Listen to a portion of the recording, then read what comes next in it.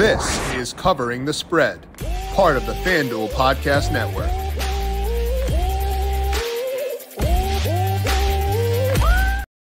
Week two of the NFL preseason gets underway tonight. We got one game Thursday, 13 on Saturday, and then two coming up on Sunday as well. Our job today is to break down NFL preseason week two and talk about my favorite bets across all the games at FanDuel Sportsbook.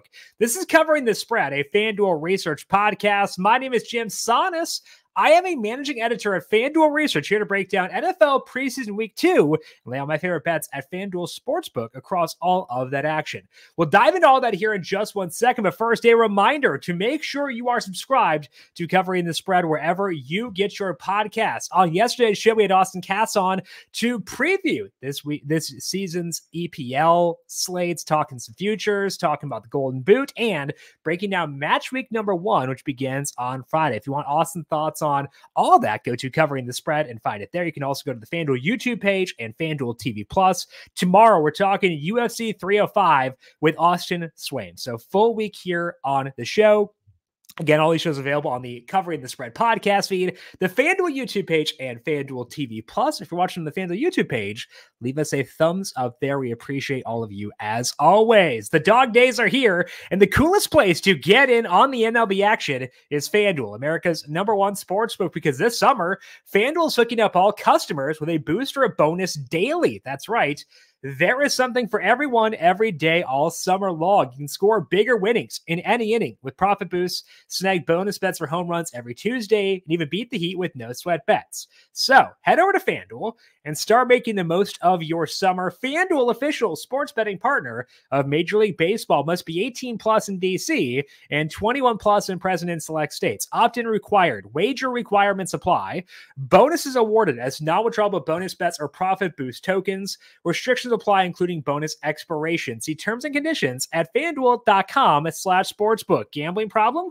Call 1 800 Gambler or visit fanduel.com slash RG in Colorado, DC, Iowa, Kentucky, Michigan, New Jersey, North Carolina, Ohio, Pennsylvania, Illinois, Tennessee, Vermont, Virginia, and Wyoming. Call 1 800 Next Step or text next step to 53342 in Arizona, 1 789 7777, or visit ccpg.org slash chat Connecticut, 1 809 with it Indiana, 1 800 522 4700. Visit ksgamblinghelp.com in Kansas, 1 877 770 stop in Louisiana. Visit mdgamblinghelp.org in Maryland.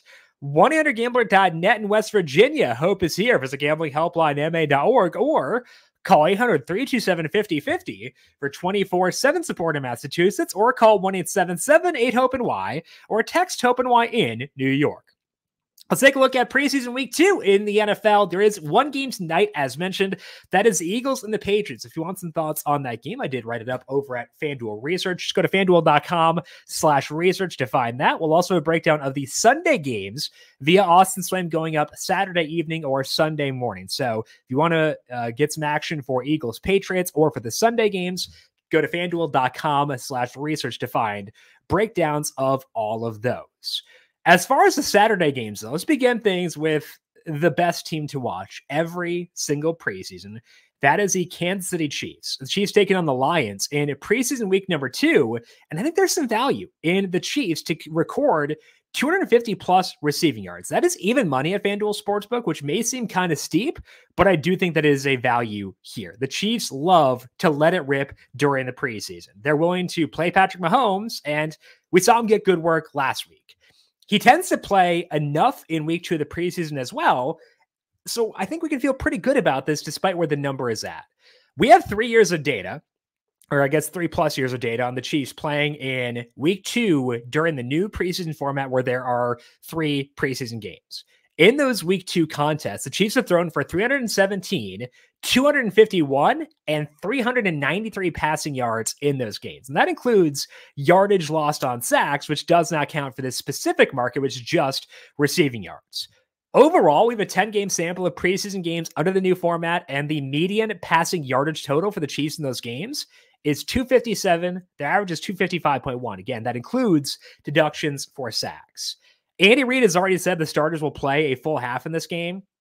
Mahomes himself may not make it to halftime, but he will play into the second quarter as he typically does in week two of the preseason, and that helps us plenty. But we also know that, that Carson Wentz seems pretty eager to let it ride and kind of see what happens. So it's a good combination of things where the Chiefs have shown they will air it out in the preseason. They have rookies they kind of want to get acclimated, Mahomes said, uh, with Xavier Worthy and Jared Wiley. They've already said they're going to play the starters a full half, so at least in the second quarter. And we have two quarterbacks from the Mahomes and Wentz who are willing to chuck it deep.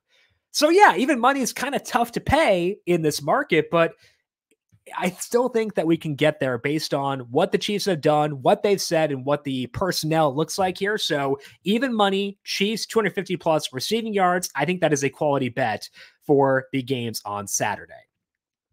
The second game I want to discuss on Saturday involves a team that's pretty thin at quarterback right now in the Washington Commanders. The Commanders have said they're not going to have Marcus Mariota in this game, and Sam Hartman also not going to play. So typically, when you're getting situations like that, where a team is down some key pieces at quarterback, we're going to be looking towards unders, trying to avoid positive props on that team.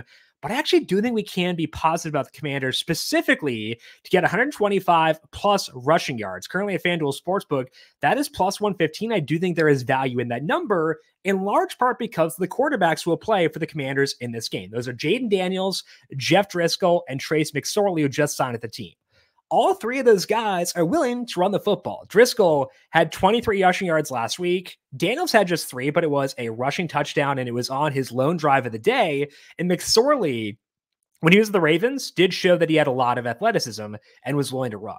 So the Commanders, all three quarterbacks willing to run. I think that plays a key role in this specific market. But also, they've got uh, Brian Robinson and Austin Ekeler there. They both had uh, uh, at least some work last week. Five carries for 20 yards for Robinson, two for seven out of Ekeler. So we should see both those guys in there alongside Jayden Daniels for this week as he ramps up, especially considering the lack of depth the commanders have at quarterback.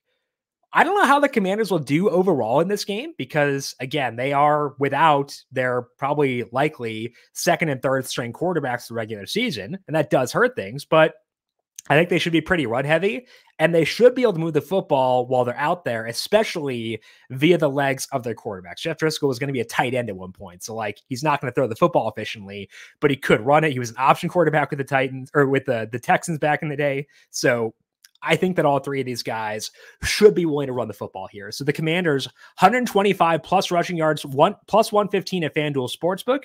I do think that is a value based on the personnel the Commanders will and will not have during this game. Final bet I want to discuss for the Saturday games is between the Seahawks and the Titans. The total for that game is 35 and a half, and the over at FanDuel Sportsbook is currently sitting at minus 105. And I would understand some trepidation here because these teams are doing joint practices for this week, and we do see some teams pedal back their starters when that's the case. But I think there's still enough here to justify an over 35 and a half. And that's because both these offenses are going to new systems this year. Obviously, new head coaches on both sides. Brian Callahan likely calling plays for the Titans. And then uh, for the Seahawks, they got Ryan Grubb in there as well. You probably want to get those offenses acclimated with those new systems. We also saw the Titans let Will Levis do a bit last week. He played two drives. Now, he probably played two just because the first one was very short. Uh, it was a short field there after a long kick return. They scored a touchdown there, scored a touchdown on Levis' second drive as well. Maybe we get a quarter and a half of Levis this week. If we do so, that'd be pretty fun. But also, Mason Rudolph is behind him. Rudolph earned time with the Steelers last year, uh, was the number two quarterback in week two. Malik Willis is is what he is, but like, you know, was at least a third round pick. The Seahawks, I would bet, are probably not going to run Geno Smith out there because of the joint practices, but they've got Sam Howell as a backup.